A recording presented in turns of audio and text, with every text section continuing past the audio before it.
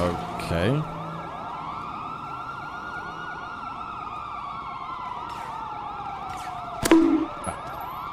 The fuck?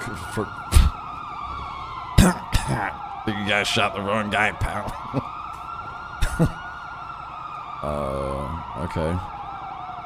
If I shot you and you're not involved, that is completely my bad. You're driving the exact same car as someone who shot at us. And Uh, so the mistakes happen. It's okay. I'm not.